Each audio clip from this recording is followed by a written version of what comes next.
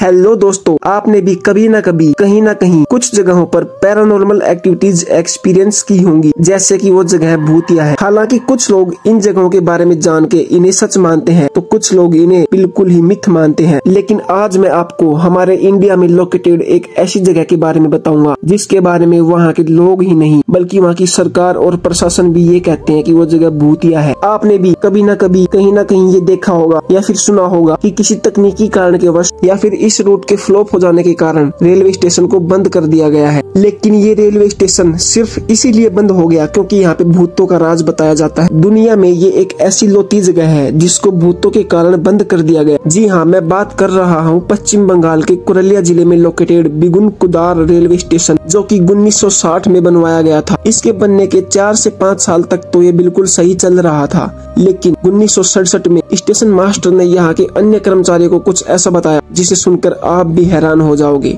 Station master ने बताया कि यहाँ पे प्लेटफॉर्म के पास उसे एक महिला दिखाई देती है, जो कि उसे घूरती रहती है तो कभी ट्रेन के साथ भागती है। और जब आप उसके पास जाने की कोशिश करते हो तो वो अंधेरे में कहीं गायब हो जाती है। उसके साथियों ने इस बात पे विश्वास नहीं किया, लेकिन अब लगभग रोज़ाना उसके साथ ये किस्सा होता। अब वो समझ गया था कि ये कोई प्रेत आत्मा है जो कि उसे ही दिखती है और सिर्फ़ उसी को ही परेशान करती है। एक रात उस आत्मा को देखने के बाद वो स्टेशन मास्टर काफ़ी अजीब सा बिहेव करने लग गया और बहुत ज़्यादा डरा हुआ था। डरा हुआ स्टेशन मास्टर अन्य कर्मचारियों को ये बात दोबारा बताता है, लेकिन इस बार भी वो कर्मचारी उसकी बात पे विश्वास नहीं करते और उसे छुट्टी लेने की राय देते हैं और उसे कहते हैं कि आज तुम नाइट ड्यूटी मत करना, जल्दी से घर पे चले जाओ और घर पे जाके आराम करना। और तुम एक दो दिन की छुट्टी भी ले सकते हो ताकि तुम्हारी मनोदशा ठीक हो जाए। स्टेशन मास्टर ने ऐसा ही किया। उसने दो दिन की छुट्टी ले ली, लेकिन दो दिन की छुट्टी के बाद भी स्टेशन मास्टर स्टेशन पे नहीं आ रहा था। और जब उसकी कोई इन्फॉर्मेशन भी नहीं मिली, तब अन्य कर्मचारियों ने सोचा कि क्या हुआ है। और फिर वो उसके घर पे जाते हैं। जब वो घर पे जाते हैं तो वो देख के हैरान थे कि स्टेशन मास्टर मर चुके हैं। अब सभी लोग इस किस्से को उस रेलवे स्टेशन वाले किस्से के साथ जोड़ने लग गए। अब लोगों ने मान लिया कि स्टेशन मास्टर की मौत के पीछे हो ना हो, उसी चुड़ैल का हाथ है जो कि स्टेशन मास्टर को रोज़ाना दिखती थी। अब धीरे धीरे करके वो औरत सभी लोगों को दिखने लग गई थी। और अब धीरे धीरे करके सभी लोगों में डर का माहौल बैठ गया था। धीरे धीरे लोग यहाँ पे आना बंद हो रहे थे।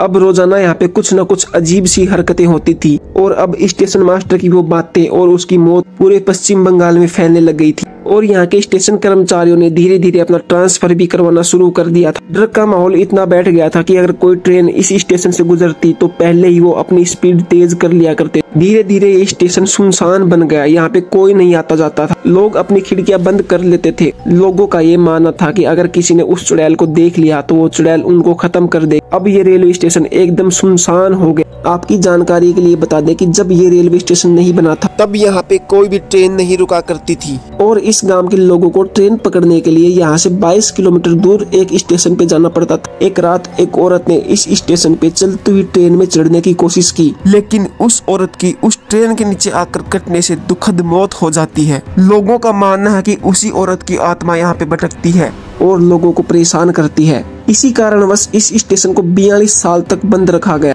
और सन 2009 में आपातकालीन रेल मिनिस्टर ममता बनर्जी ने इस स्टेशन को दोबारा स्टार्ट करवाया। हालाँकि ये स्टेशन अभी भी स्टार्ट है, लेकिन यहाँ पे रात में कोई भी नहीं आता। रात में अभी भी ये स्टेशन एकदम सुनसान पड़ा रहता है। तो यही थी हमारी आज की कहानी। अगर आपको हमारी कहानी अच्छी लगी हो तो प्लीज़ चैनल को सब्सक्राइब कीजिए।